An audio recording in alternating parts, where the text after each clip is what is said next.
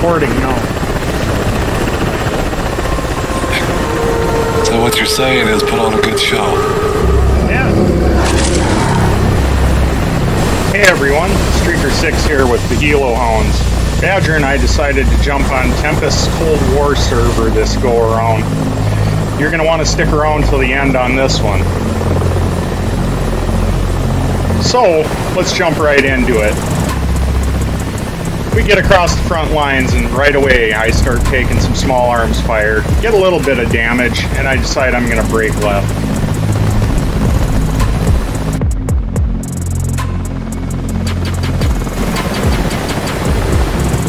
I'm going to gain some distance, get myself into a safe place, you know, just extend away.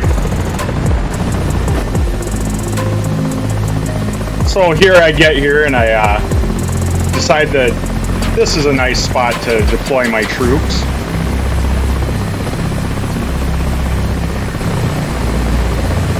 I feel I've gotten pretty lucky and I'm gonna just RTB and go get the minor damage repaired.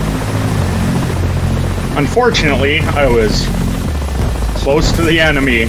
I didn't extend away as far as I thought I did. I started taking a lot of damage. I don't think it's that bad at this point, until my engine sparks up. I get it put up. By the way, keep an eye on the hilltop.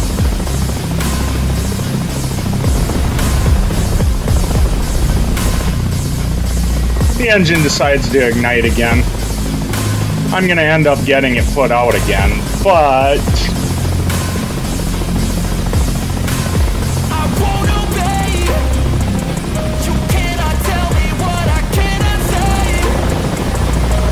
as you can see, it reignited again because I forgot to shut off my left engine fuel.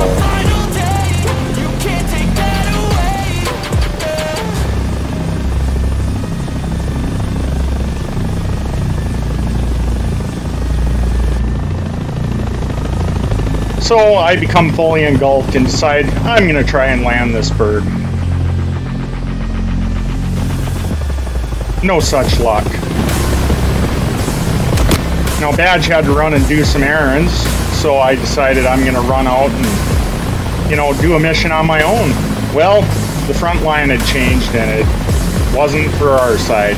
So I'm headed back and Badger's back now too. I'm going to meet up with him and this happens. Close call. I decide I better get out of here. I start flaring. I'm taking small arms fire once more. Missiles are all around me. This time, I'm definitely going to get into a safe spot extending away.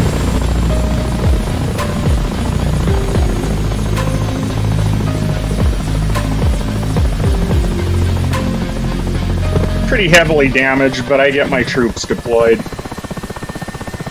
Unfortunately, one of my engines is out, and I can't lift off. And look at that, I kill one of my troops. Now, if you want to know if I make it back to meet Badger or not, you're going to have to come see the next episode in a day or two.